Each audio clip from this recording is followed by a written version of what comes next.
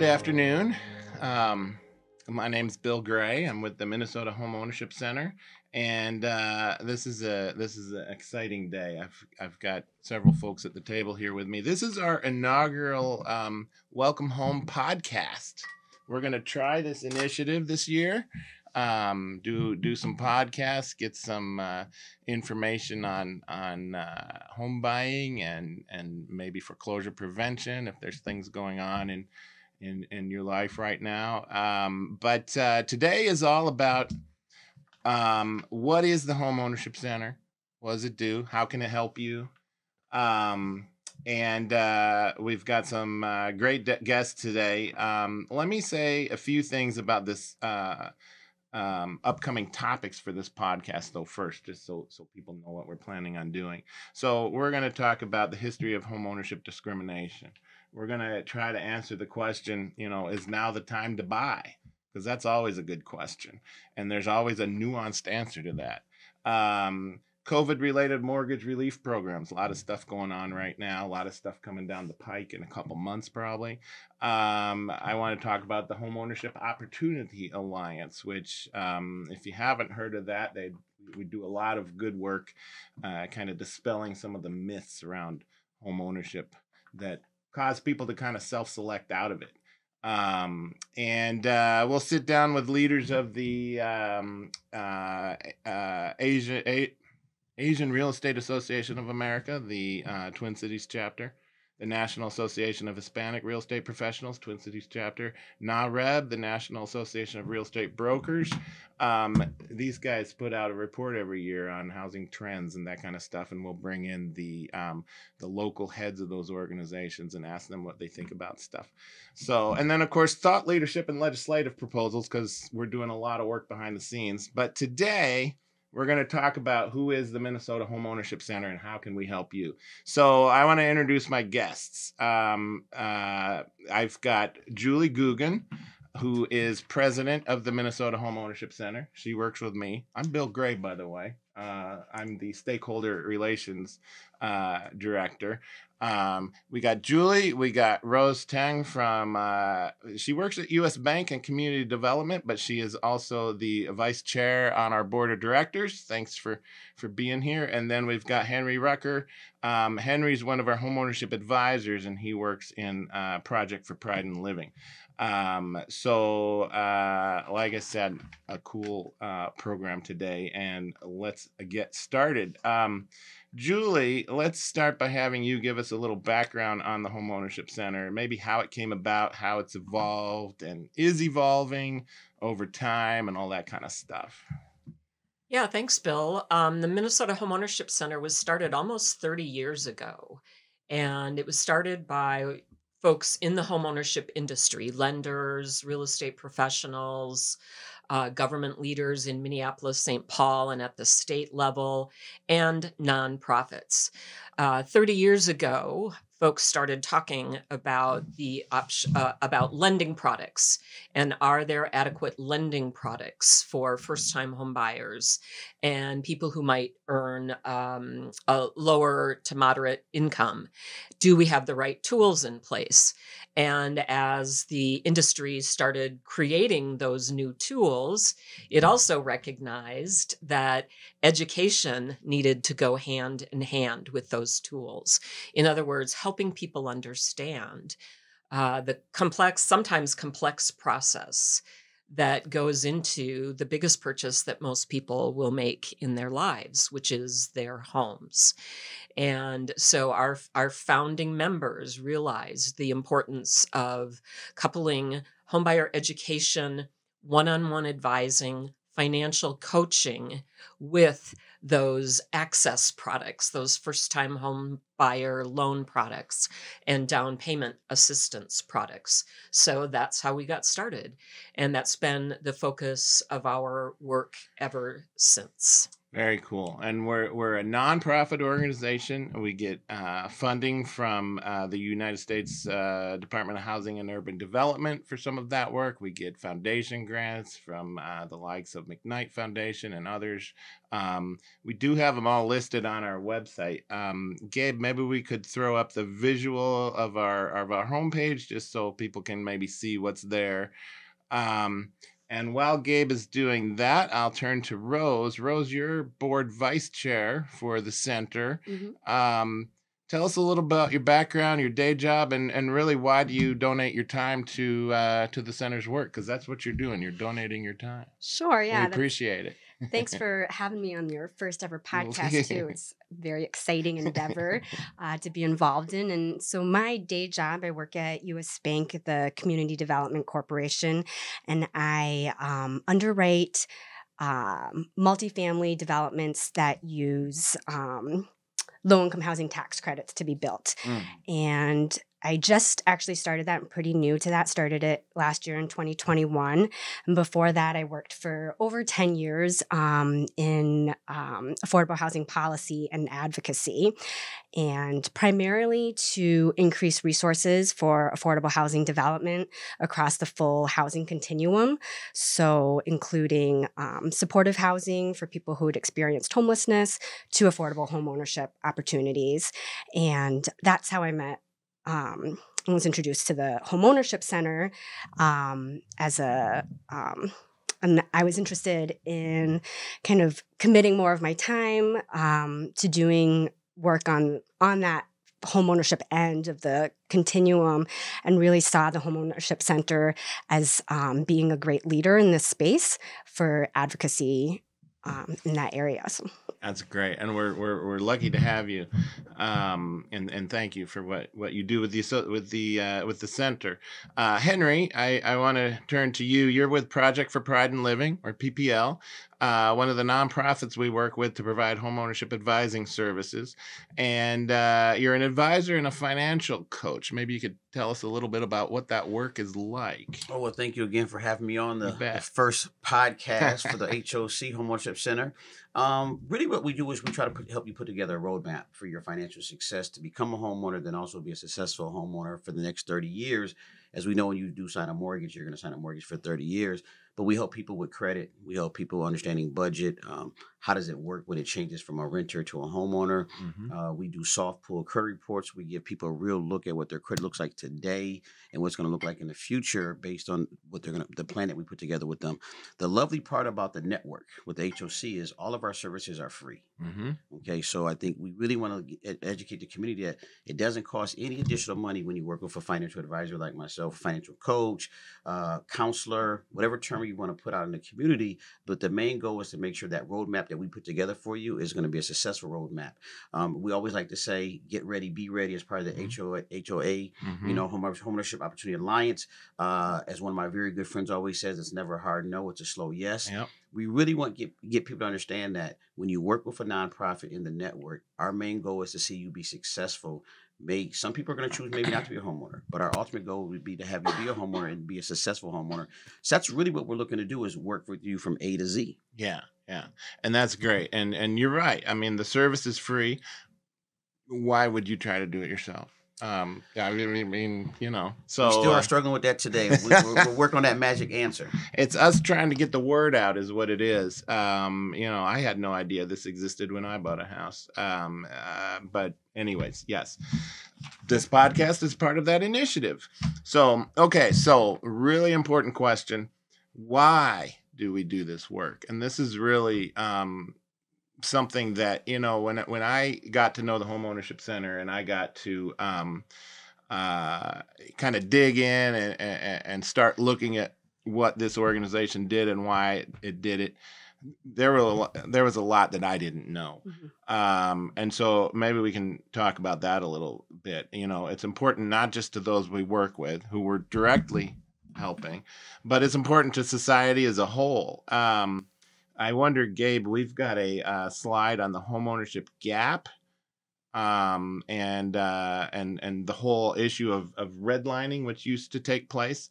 Um, yeah, there we go. So this is Minnesota's racial homeownership gap, and you can see there um, the white households up there at the top, white non-Hispanic households in that dark blue, all households, everybody together that's homeowners in that green there, and then the BIPOC uh, uh, ownership rate down there um, underneath everything. So you can see in, uh, I guess it was about two, 2020, the uh, white ownership rate in Minnesota was 77%, which, by the way, is one of the highest in the nation. And that's awesome.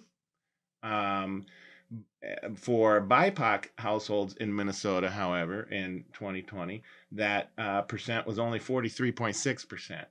And um, here's the deal, and we'll we'll talk about this later. Home ownership uh, gives you an opportunity to build wealth, and it is the number one way that wealth is built in this country um, among individual households. And so these numbers are important way beyond the fact that you know you own a house or you rent. There, there's much more to this. And the other thing that I want to say about this, um, you can see the BIPOC ownership rate is about 43.6. The sad truth is the the black ownership rate is um, is about 26 percent. So that is a 50 point gap between white and black households in Minnesota, and that uh, that gap is one of the largest in the nation. I think it's the third largest in the nation, and um, our organization does a lot to try to change that, and we'll talk about that later today. We'll talk about it in future episodes, but I just want to, you know, put on the table here. This isn't just about owning versus renting. This is about the opportunity to build wealth and take part in the uh, American economy. Um, you know, to be blunt. So, um, so yeah, I mean, uh, let let's have a little conversation about this. Um, Julie, I'll, I'll I'll turn it over to you and think about your thoughts on this. Yeah, I think uh, households' reasons for buying a home vary. I mean, a, a, home purchase is a very personal choice, it's a very personal path, and each household's plan to get there is different. I think what's important for for the broader community to understand is that homeownership not only contributes to individual household wealth creation, and it does, we cannot underplay that. It's the number one wealth generator in this country by far. But it contributes to community vitality and safety. It, commun- it contributes to children achieving better in school. It contributes to better physical and mental health. Uh, people who own their home earn more money. They're far more likely, as you stabilize where you live and you're not moving every 12 months, you can stabilize your job, which creates opportunities in employment. So I, I, do think it's important to think about individual household achievement of wealth and home ownership, but the contribution that that makes to us as a broader community is extremely important. And, you know, the statistics that Bill shared around the homeownership gap in Minnesota are staggering. And they've been like this for a while.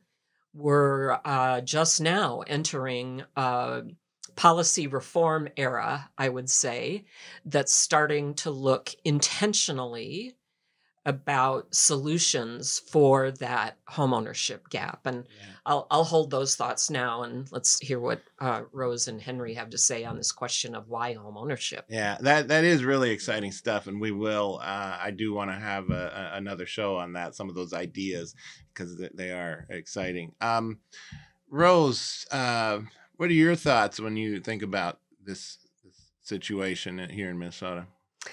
Yeah, I think the statistics that you showed and you know everything that Julie was talking about that's really powerful and impactful and um, I think a tangible reminder for me is I live in South Minneapolis and last year I learned about this project called Just Deeds mm-hmm. which mm-hmm. was um, you know, which is trying to discharge racial covenants on homes throughout throughout the cities and there's a tool on the website that you can look up your address and see if your house has a racial covenant on it.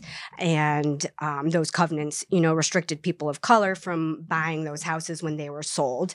And they're not legally you know binding at this point but they still exist on these houses and i plugged in my address and found not just my house but the vast majority of my neighbors Mhm. have homes that have racial covenants on them and as a person of color living in a house that i wouldn't have been able to buy where like my you know um It just boggles the mind. Yes, yeah. And I think it's a kind of just very tangible reminder that the landscape that we have and the social and economic impacts are not accidental, that they are Right.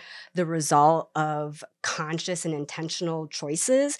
And on the website, you know, this project, they make really clear that discharging the covenants, that doesn't undo the harm that was caused, but it's the first step in kind of naming that history Right. and choosing a new path that I think centers equity and opportunity and the ability for, you know, building intergenerational wealth through home ownership, which, you know, as you and Julie both said, is the number one way that we build wealth in our country. And for me, living in that house, it's just a tangible reminder of needing to do this work and the amount of work that we have to do.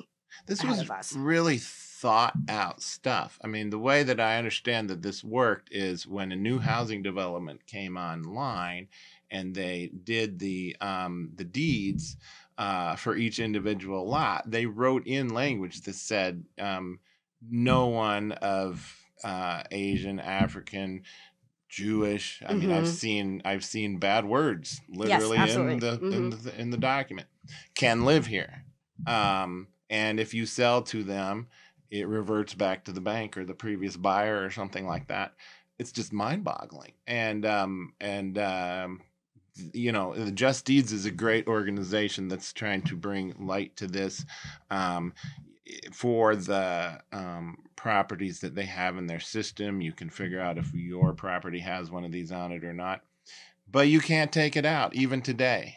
Um, all you can do is is um, what is the word? Um, uh, all you can do is um, state your intent against it, and there's a good word for that. I just can't remember what it is. but um, you know, disown it, whatever it is I'm trying to say. Put a put a paragraph in there that says you Mhm. you you um, disown that paragraph, but it's still there. Um, yeah, when when I came to this line of work, this this stuff just blew my mind. But nothing blew my mind more than um, Henry's father's story, and I'll explain this. And Henry's given me permission uh, to share this. In in 2018, we uh, the Homeownership Center uh, launched the Homeownership Opportunity Alliance, uh, which we will talk about in another episode, and um, we we kind of brought in someone to remind us why we were doing this work, and it was Henry's father. And as I recall, and I'll ask you to check my math here, um, uh, your mom and dad were, were were buying a home in a white neighborhood in the early '60s, I believe, Mhm. and they just have to, ha- kept having to go through hoop after hoop after hoop for their mortgage. And if I recall correctly, your father said the last hoop they made you jump through was that you and he, he and his wife had to sign an affidavit that they would not have children for five years. And if they did, the house would revert back to the bank. And um, so that's if I'm remembering this right. That's what your father said. And I Yeah. was just my my I, my jaw was on the floor, and I, what, how, you know. So um, yeah, I mean, what's your take on this stuff? Uh, well, my, my, my it's it's sad, and I, I will say this: I think it shows why I'm in the line of work that I'm in. That my Mhm. father continued to pursue that home ownership as they are still in that house to this day. Um, and as everybody want, everyone has mentioned so far, I mean that's Wolf creation. Uh, my mom and father live in the Field Regina neighborhood. Um, probably every house on their block is worth four fifty to six hundred thousand Mm-hmm. um, and they have no mortgage. And it helped me go through college. It helped my Mhm. sisters go through college. My father was able to use the equity in his house to help us pay for college. So when I graduated from college, I had no student loans, Mhm. um, which is truly a blessing. I don't even think people understand how important it is for young adults, as Julie mentioned, children should grow up in a home because we should start having generations that when they're in their 20s think about home ownership first versus renting. And if you're going to rent, you're maybe renting for three to five years, where we're seeing people attend our first time homebuyer class called Home Stretch that they've been renting for 30 to 40 years. Mhm. And now they're buying because they want to leave something to their grandchildren, not their children. Mhm. They want to leave something to their grandchildren because unfortunately some of their children have bought houses before the parent has bought a house. So that's why it's important to me why my father continued to fight that fight. And it's interesting because I go back to I've been in my house for 20 years where I, where my family lives. And I've said this before, I've never had a black neighbor on my block in 20 years. I never had a black homeowner on my block in 20 years in South Minneapolis. And it goes back to what Julie also mentioned. I don't think a lot of people of color, especially African Americans, believe homeownership is meant for them. And it does go back to some of the covenants that people had in their mortgages. And a lot of times when grandma or grandpa owned a house, they really weren't homeowners. They were renters. Right. But the children thought they were homeowners. And then when something happened to grandma or grandfather, Ah. the landlord would then knock on the door and say, Hey, I didn't receive my rent from this month or last month. And the family was shocked. And then that puts a bad tone in their, you know, in a child's mouth Yeah. um, or a grandchild's mouth that, you know what, I thought grandma, grandpa really owned this house, but they were really renting. Or they were buying on a contract for deed that never Yeah. really was going to end. Right. Um, the language wasn't right in that. But I commend um, my parents. Um, I can only tell people that not having student loan debt when I graduated from college was a true blessing. It's allowed me to support my daughter. It's allowed me to put things in place. So hopefully my daughter would not have student loans when she graduates from college.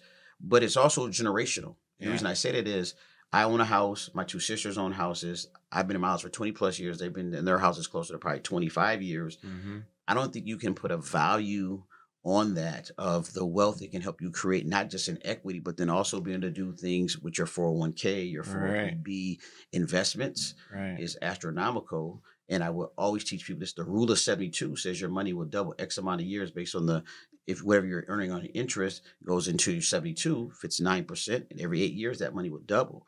I don't think people understand that, right? Yeah. And that's where we come in as financial uh, coaches on the nonprofit side is educating people why you want to look at home ownership versus renting and what are the benefits of home ownership.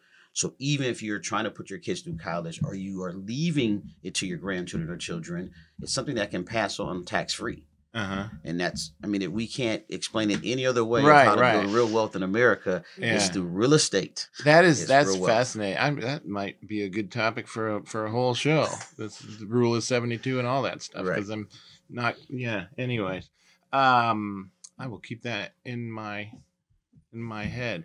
Um, thanks for for for sharing that that story though, because yeah, that I just remember that just kind of blew my mind. Um, so um. I think now I want to uh, pull up some some graphics on the screen. I, I want to talk about some demographics of who we serve. Um, so uh, my colleague Gabe in the back there uh, will will throw some graphics up here. This here is um, kind of a, a, just a slide that I put together on on redlining and covenants, and you can see the language in the deed for this property, this is an example here, um, says that um, the premises hereby conveyed shall not at any time be conveyed, mortgaged, or leased, even rented Mhm. to any person or persons of Chinese, Japanese, Moorish, Turkish, Negro, Mongolian, or African blood at descent. I can't even read. Or that. descent. Or descent. Um, and uh, if they do, you forfeit your title. So, I mean, this is the kind of stuff that we're talking about that was going on. Um, I don't even, I wouldn't even say behind the scenes, but um, racism was built into real estate in you know as it as it took off and especially as it really took off after world war ii um, with the uh, gi bill of rights and the I was just going to say, I think um, what both Henry and Rose talked about Yeah. was intentionality Yes. around this. The federal government, local governments, the lending um, institutions, and the real estate community contributed to this. It contributed to redlining. It contributed to deed covenants. It contributed to discriminatory lending practices as recently as the Great Recession, where we saw that um, black and brown households were inordinately targeted by subprime Mm-hmm. lenders who um, sold loan products that essentially stripped equity away from individuals' households. We see it today in practices in the appraisal community. Mm-hmm. Uh, so uh, the intentionality of this work, this the intentionality of this discrimination and racism goes back decades.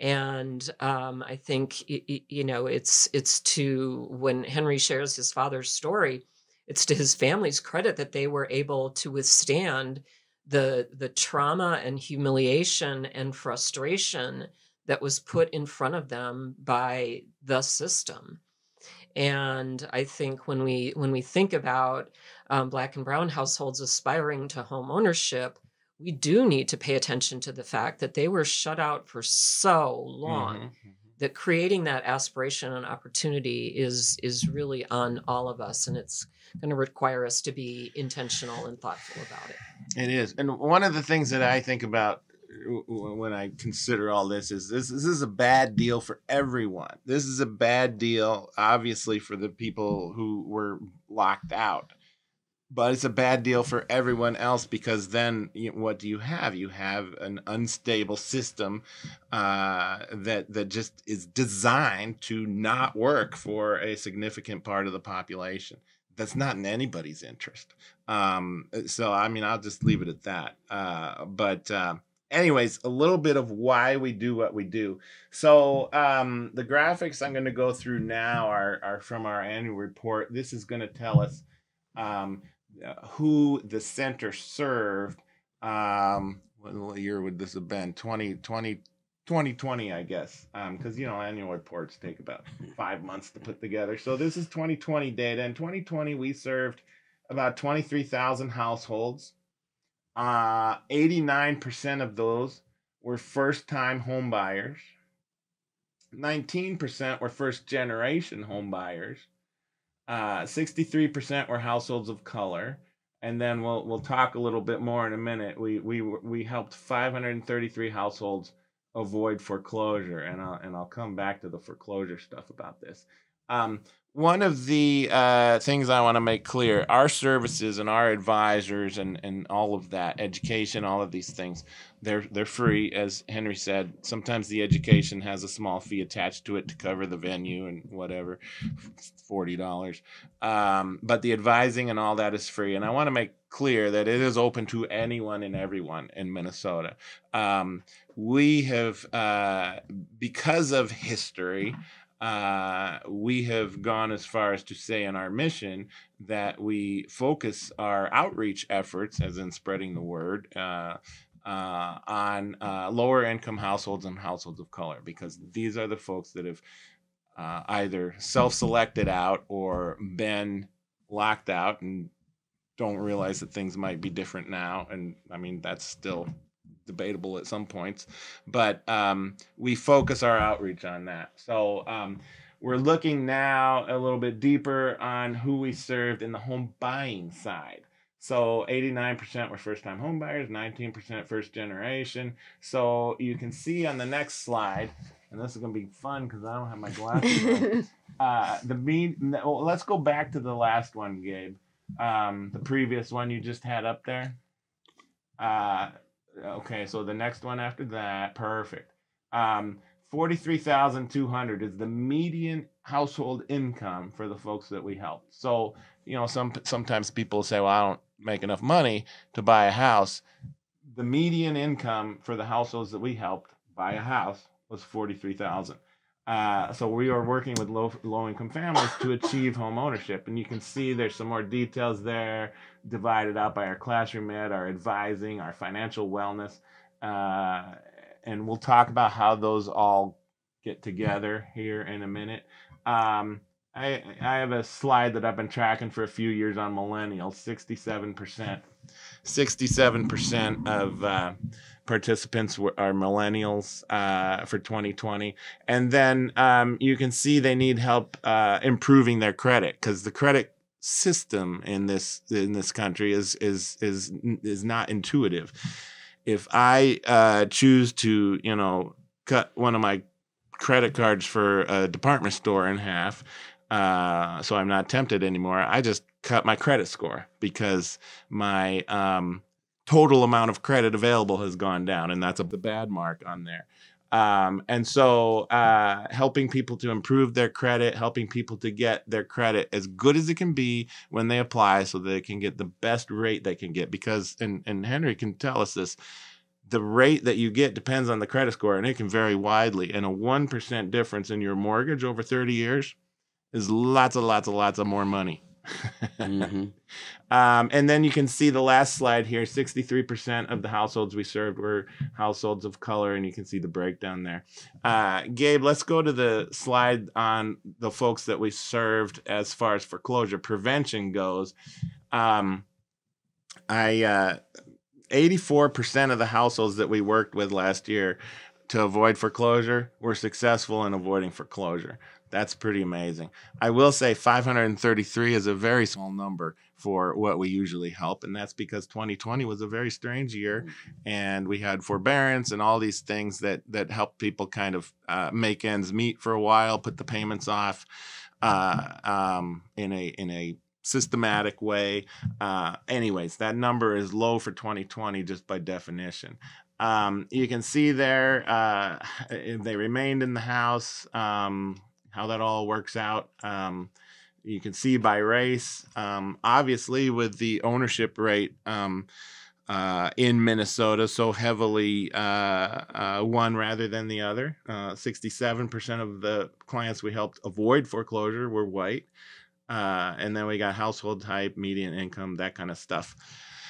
Um, I think that's all my slides, uh, data slides, anyways. Uh, so um, I don't know. I think that stuff is is pretty fun to track and from year to year and and look at. Uh, so let's shift gears. Let's let's talk specifics about how the home ownership center can help you. Um, so um, let's see, Henry. Um, if I can ask you to uh, maybe talk about how homeownership advising works and and the class and all that kind of stuff. Uh, yeah, I mean, really, we're there to. I always tell people if, when you first time you go to the doctor, they're going to run a baseline, right? They're going to run some tests. They're going to take your blood. They're going to do certain things for you. It's the same way when you're buying a house. When you're Mhm. meeting with an advisor, we're just taking a baseline of where you're at today. One thing I love about Minnesota, we don't do slab on grade when we build new construction. Typically, we have a basement, which is the foundation, which makes it stronger. So if there's winds that come by, a tornado that come by, Right. it's not going to blow the entire house down. That's what we're trying to do when we have somebody come in. We get Uh-huh. referrals from realtors, we get referrals from community partners, we get referrals from churches, we get referrals from other lenders where somebody may not be ready today. And I want to stress this again. If you're ever told no, you want to contact a financial uh, coach with a nonprofit Yeah. in, in, in the network because it could be the fact that that particular lender may not be to help you out Mhm. but you could take a few steps. It might just be increasing your credit score. It might be increasing your reserves, your assets. Um, you know, one thing a lot of people don't realize is having a strong 401k, having somebody in your savings account and checking account Mhm. helps your loan application. Again, you talked about credit. Um, if you never learned about credit as a child, the habits you're going to have as a young adult are going to go into your late 20s, into your 30s, into your 40s. Mhm. So again, we want to talk about how do you utilize your credit. If you have a thousand dollar credit card limit, you don't want to owe a thousand dollars. You don't really want to owe six hundred. You really want to be under thirty percent. That's one of the factors that increase it, it, it is part of your credit score. So it's really educating people about the steps that they need to take to get mortgage ready. And then when they're mortgage ready, when they buy a house, make them long term successful homeowners. As that shot, uh, slide showed, you didn't have a lot of people. You had five hundred some people going for closure, but you were to help eighty four percent of those Mhm. we want to keep that number at 84 89% 95% and i think a lot of times people don't also realize when you buy a house we qualify you in your gross income you pay your bills on your net key. so those are things Yep. people want to talk about right Say say that again. This is so key, and and our friend Trent keeps telling this to me too. right when you when you qualify for a mortgage they qualify you on your gross income but you pay all your bills on your net. Yeah. So one of the things we always talk to participants about, even when we teach the home stretch class, which is an eight-hour class, Uh-huh. um, it is forty dollars, um, but there are promos that are being ran out there right now by certain nonprofits, and as you mentioned earlier, with NARA, ARIA, Yep. and NARAB, Yeah. they're partnering up with the nonprofits to help increase the enrollment for those classes. So you might get lucky and be able to catch one for free, Right. right? But the difference is you're learning about the home buying process from lenders, from the nonprofits, from realtors that are also giving their time, like Rose is giving her time with Right. the board. Right. They're coming there to educate you and make sure that you understand the process. Because the one thing I tell people, as Julie mentioned earlier, the biggest decision to me you ever make outside of buying a house is who you're going to spend the rest of your life with, Mhm. right? Because again, it's a Mhm. 30 year commitment. You sign a 30 year commitment when you get a mortgage loan. So we want to make sure you're ready. I always also go back to the fact that it's it's having like a puzzle. We Mhm. want to make sure that when we refer you to three different lenders, that you have all the pieces of your puzzle in the box. So whatever lender opens up that box, they know your credit ready, they know your income ready, everything is good for you. And the lovely part about it again, it's it's totally free. Yeah, yeah, and and I want to reiterate. You said you know we'll send you off with three different lenders. That's what we do. We we don't just give you one. We don't have uh, you know a preferred something that we work with. We are um, your work is unbiased. It's it's you know if you if someone asks for a recommendation. They're going to get three options at least, um, and I think I think that's important. Right. Uh, so so thank you for that. Um, uh, Julie, let's talk a little bit on the foreclosure side. Um, and this is an interesting time right now, um, again, because of COVID and the aftermath. But in some cases, there's some financial assistance uh, possibly available uh, to homeowners who are struggling. And um, our advisors, our foreclosure advisors, can navigate that for you. Yeah, just as advisors can help people prepare to be a successful homeowner, they can prepare people to stay in their homes. We understand that things happen in people's lives a job loss, an income loss, a change in the household makeup, whether it's through death or divorce or marriage, um, a healthcare crisis. Things happen in people's lives. So, our advisors are there not just at the beginning, but throughout the process. So we're we really pride ourselves on the foreclosure prevention work that we do to keep people in their homes. Uh, it is a free service. It's available throughout the state of Minnesota. Most of the most of the programming is done virtually now, not in person. So it's it's convenient and available. Uh, because of COVID, the landscape has changed as it relates to foreclosure prevention. Interestingly, when COVID first hit, many lending institutions um, uh, created uh, forbearance programs, which allowed consumers impacted by COVID to stop making their house payment. It didn't mean they didn't owe the money, it just meant they didn't have to pay it now.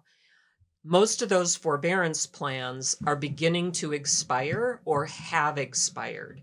So consumers now owe all of the money that they didn't pay during that forbearance period.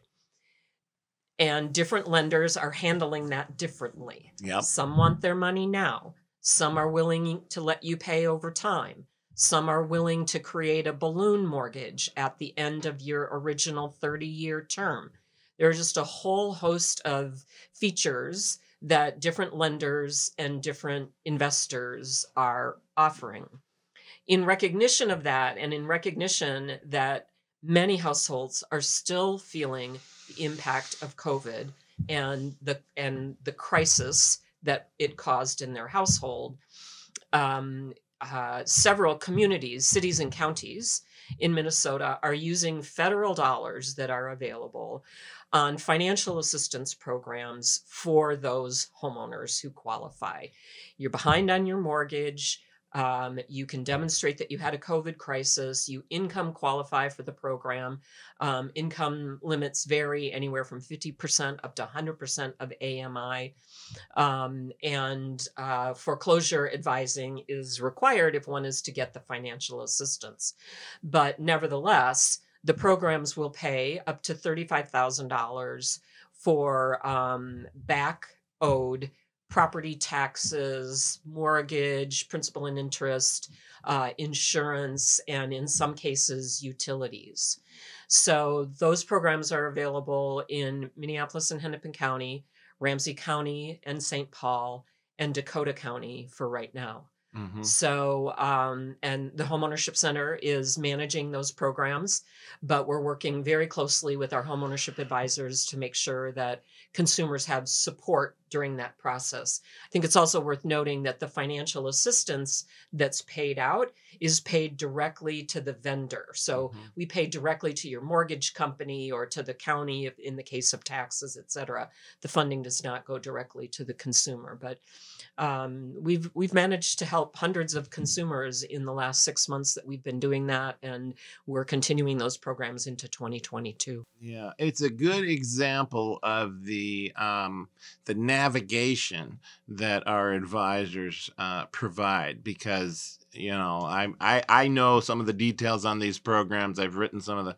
uh, news releases on them, and um, they're complicated. They're really complicated, and uh, you know, um, a foreclosure advisor can sit down with you and figure out what all of this means for you um, and and can help you figure out what you need to do, uh, you know, to get your application submitted. So they may need income verification stuff like that. They these guys can help you with all that instead of you trying to figure it out on your own on a web on a website. Um, let's see. Um, let's talk about uh, some of our experiences purchasing um, purchasing first houses. Uh, one of the things I thought about when when Henry uh, was talking um, is o- home ownership from generation to generation is kind of like a snowball. Um, you you talked about all the things it allows you to do. Um, you know, put money in your 401k, do all these other things. Uh, it allows you to show the next generation that this makes sense and kind of you know be the role model in a way for that.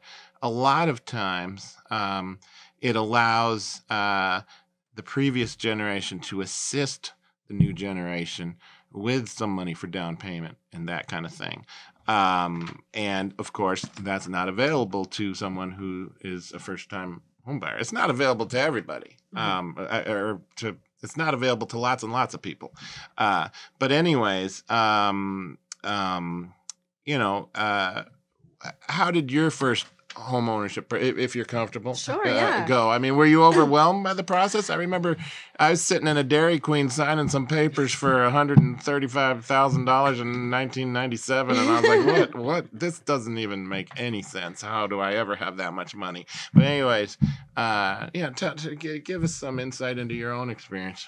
Yeah, well, when I purchased when we purchased our first house, we were um, I was working in, you know, housing policy and advocacy, and was lucky enough to know about the home stretch class. Mm, And uh, some of the organizations that I worked with already were um, uh, part of the network, and so could find a list of the classes and find an- an organization that I already knew and trusted. And so I took the home stretch class with uh, PRG mhm. which is a nonprofit in Minneapolis. And that was super helpful for me because I had probably never met a real estate agent before. I didn't know anything about the inspection process. Like that whole binder of information that they give you, I didn't, I really did not know any Right. of that.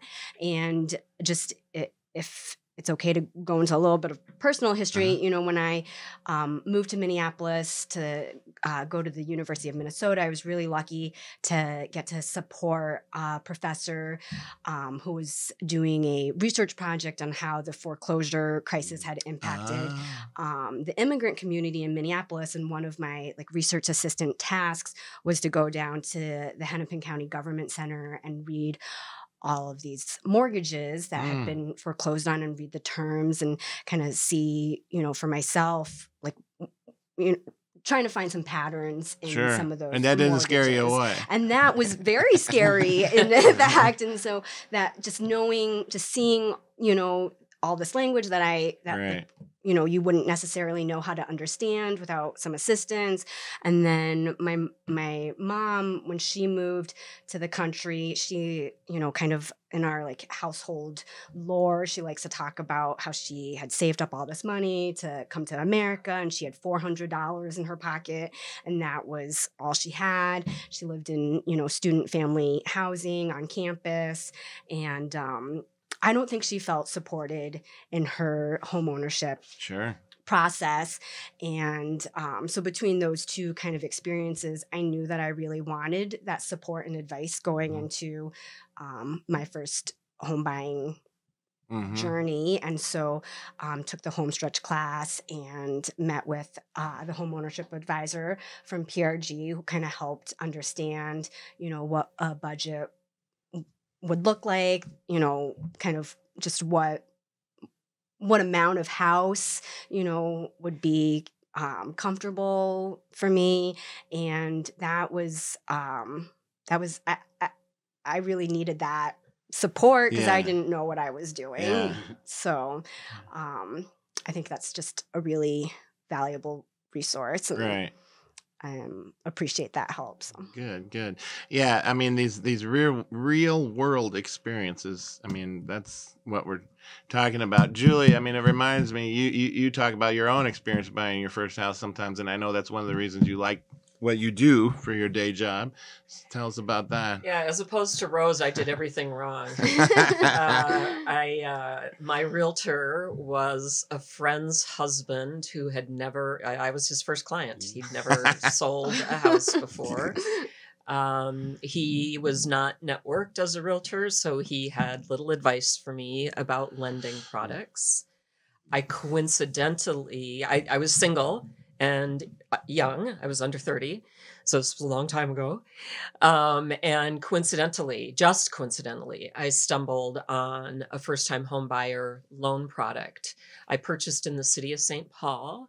My interest rate was 8.8%, and it was an assumable mortgage. So that's how long ago this was. 8.8% was a significantly better interest rate that I could get than I could get anywhere else um, the down payment I used on my um, $52,000 house in St. Paul came from a very small inheritance that I got from my grandfather when he passed away. Um, my grandfather was a second generation immigrant in rural South Dakota and managed to run a successful family farm with help from the government in purchasing his property and making his farm a success. So I had that legacy for my down payment. But yeah, for the, I joke with my friends now, for the first six months I owned that house. I would have dreams or nightmares at night thinking that I had done something wrong and I didn't actually own the house, and somebody was going to come knocking on that property, and it was no longer going to be mine. So uh, I, I, you know, I sought advice from my parents. They had purchased homes before, but they weren't the level of advisors that I needed. Mhm. Right. So I felt, I felt, I felt unsupported Yep. in the process, and wish I would have had the support of a homeownership advisor, or at least knew to look out for that. And the fact that it's available for anybody is, you know, is is really critical. I Uh-huh. I had a college degree. I had a base level of education, Mhm. but knew nothing about purchasing a home. Yeah. So Very, very. that's very my story. I needed Henry great. at the time. right?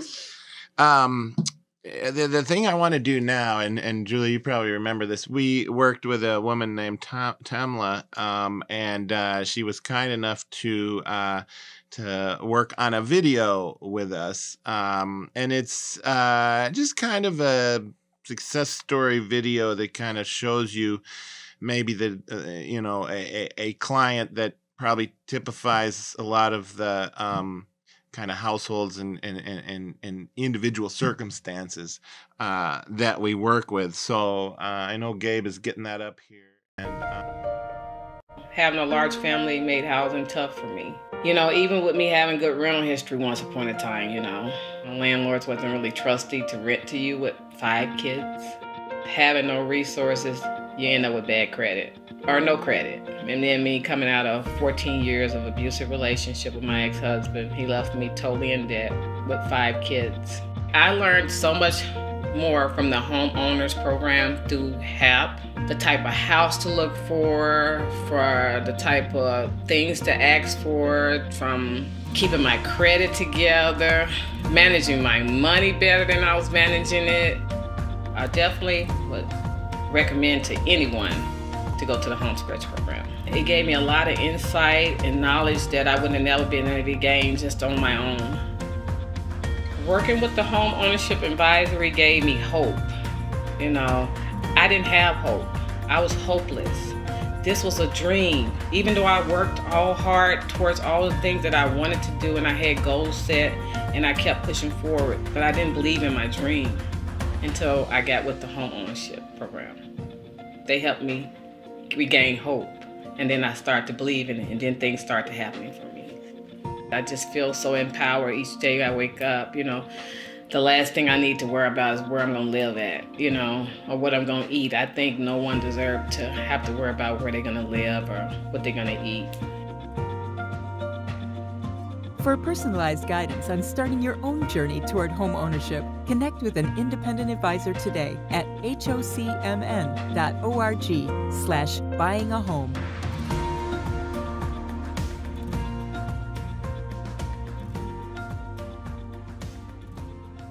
such a, a great story that she was able to share with us. Um, uh, I, I know y'all at home heard that just fine. It was a little low volume in the studio here, maybe. But uh, Henry, I don't know if you heard enough of it to kind of tell us. I mean, how, how does her situation compare to um, you know some of the typical situations that you see? Here's a here's a person with a, a few kids. I believe she had an adult uh, kid with some special needs, and they're all having to move from apartment to apartment to apartment, and this just totally, you know, ch- changed her paradigm. Um, Right. You know.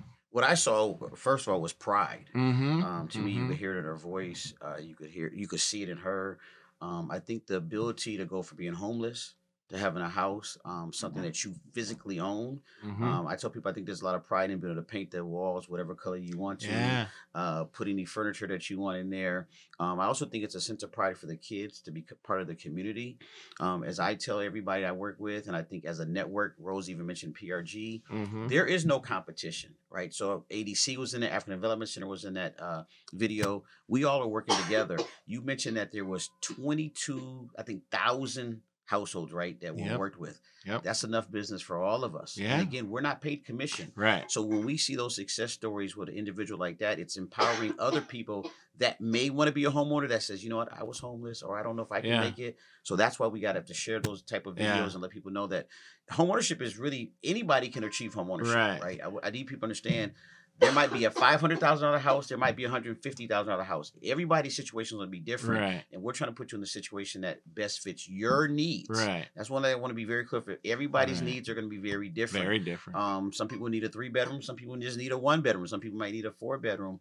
But what I got from that video was the the sense of pride of in ownership, knowing that this is a goal of hers. She accomplished that goal. I think going out to the mailbox to get her Yeah. mail, her own mail, and That was a own- fun shot right. to do. You know, I think Yeah. that that that's empowering. You know, Yeah. it's not in a box. Yeah. You know, where you Yeah. gotta kind of go through and pick out your mail, or it's not being left in a in a front office of a of a rental unit. It was her own mailbox that she was walking to get her own mail. Right. I think that's empowering, and I think we can't even put a value on the impact Right. it's going to have on her children Right. to grow up in a house. As Julie mentioned earlier, I think sense of neighborhood. Um, one thing I notice a lot, and we're not going to get too deep in this about Yeah. love letters. Right? Yeah, When yeah. people are writing offers. It's better to say, "Hey, I went to this park. I went to this elementary school. I went to this junior high school. I went to this college. I grew up in the neighborhood. I lived there for 15, 20 years." Yeah. That does make a difference for some sellers. Those are Yeah. things we're trying to get rid of. But if you've never owned a house, you can't write anything like that. Right. Um, and I think, you know, just having the participants that we work with see videos like that is empowering to them. Those are things we talk about in the home stretch class. Yep. As Julie mentioned, you know, having even that gift from her grandfather got her over the finish line. Right. Things like that. That's why it's important that we have conversations with advisors because There might be a family member that could give you a gift. There might be down payment assistance that you qualify for. Mhm. Julie also mentioned about a program she used. A lot of times, buyers don't know about those programs, Mhm. and working with people like you know in the network helps you get to those programs Right. to get you over the finish line. Right. Um, so it's very important. Now, all I can say again, there is no charge to work with an Right. advisor in the network. right. Um, I recommend everybody start with an advisor, and then For sure. when you pick a realtor, you pick a loan officer. We're all part of the same team. Yeah. And and and here's one of the biggest things that I I want to make sure we don't lose track of. Tamla and the people that we serve, she did that for herself. She had some guidance. Right. She had some guidance from someone who actually knew how the process worked. So it was helpful guidance. Right. Um, but you got to do the work. You do the work yourself, um, you know, and uh, you achieve it yourself, and you own it. You, yeah, I mean, you literally own it, but you also own it when you're done. You were able to do this, and you had some guidance from uh, people like you and and and people at the other organizations where we have advisors, Habitat for Humanity, Urban League, you know, all over the state. Uh, One Roof up in Duluth. I could go on and on. I'm sure, but this is this is something that's that's possible and that you are able to achieve on your own. You did this Mhm. when you're done, and I think that's super super important. Um, well, we are um, kind of coming to the end of our our first uh, podcast episode. This is this is uh, this has been exciting. Um, I want to uh, make sure that everybody knows um, if you want more information on the home ownership center and the services that we offer. So that's like home buyer advising, foreclosure prevention advising, and some of these education classes. Our website is hocmn.org. You can see an email and a phone number up there. Um, reach out anytime. If you call us, um, you may get a voicemail, but we um, we get those and try to return them uh, every day. Um, it's kind of our intake call center kind of thing, um, and we would be happy to um, to uh, connect you with an advisor so that you can explore this for yourself and see if this is something that uh, might be of interest for your own situation. So, um, let's see. I want to acknowledge um, some sponsors we have for this initiative. Uh, we have um, Associated Bank, we have Chase, we have Midwest One Bank, and we have Old National Bank. Uh, these um, organizations, individuals from these organizations, uh, play a role in our outreach. They're um, interested in what we do. They participate on our um, on our groups that are going out into the community and spreading the word around on this stuff. And they very generously uh, offered to um, support this initiative uh, a little bit, and we are very appreciative of that. Um, in March, we'll be back here again, and I think we'll talk about the Home Ownership Opportunity Alliance at that time. So um, that'll be a good show. And uh, with that, I'm gonna call this uh, call this a wrap. And um, thanks you guys for joining us. And uh, we'll see you next time on the Welcome Home uh, podcast. Thanks, everyone.